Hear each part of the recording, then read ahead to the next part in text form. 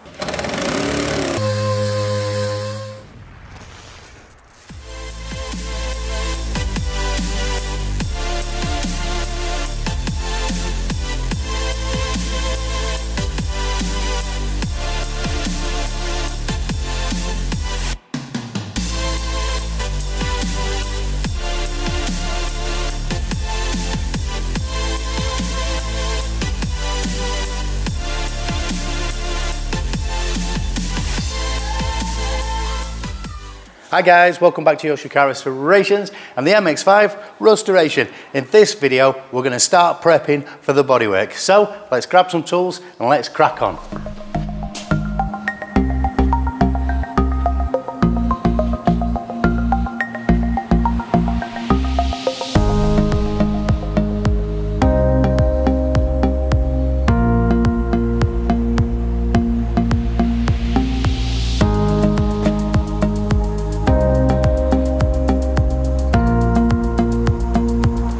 So the paintwork is appalling. Um, definitely worse than I remember it being, but it has been up in the air for a while. We've had a word with the customer and with the extensive work we've done on the bottom of the car, he's quite happy to put a little bit more of a budget in there so we can give it a full paint. So the first thing we need to do is take it apart.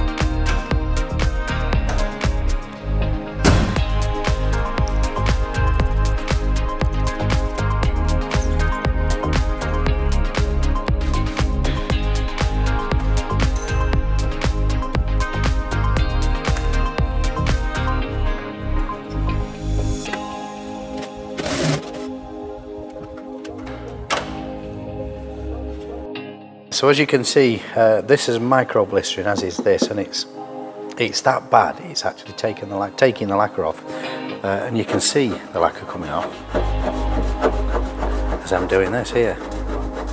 So the only way we can actually combat this is we've basically got to take the whole car back, um, and we'll do that with a DA.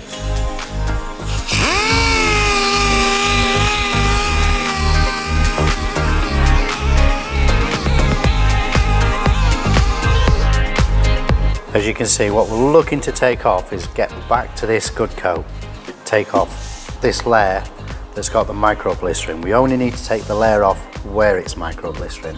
As you can see, I've got this, you can still see some micro blistering there.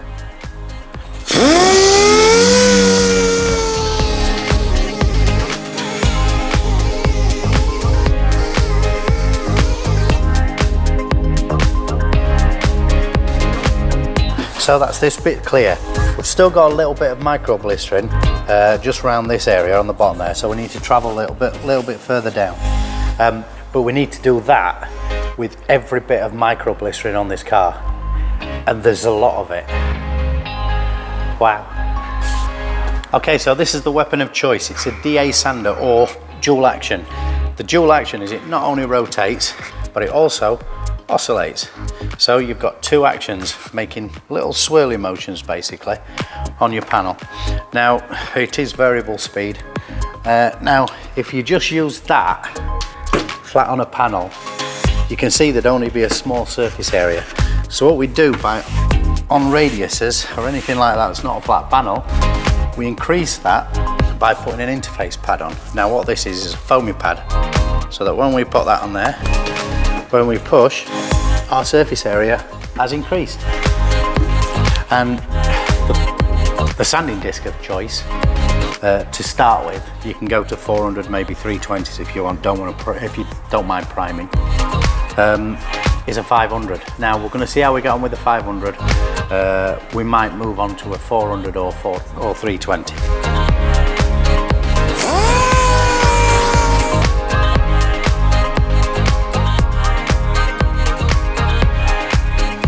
Don't forget to put your dust mask on.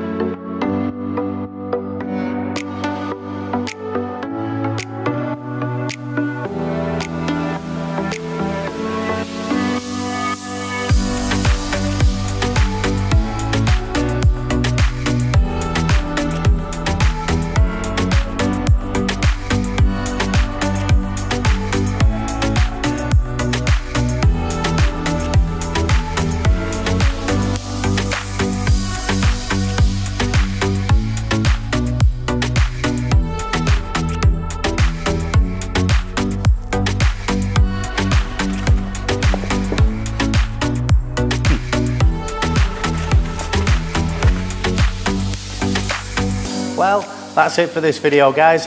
Thanks for watching. Catch us our next video where we're going to be sorting this wheel arch rust on the front and on the rear in both places. If you've enjoyed the video, leave us a like and smash that subscribe button. Until then, we will see you in the next one.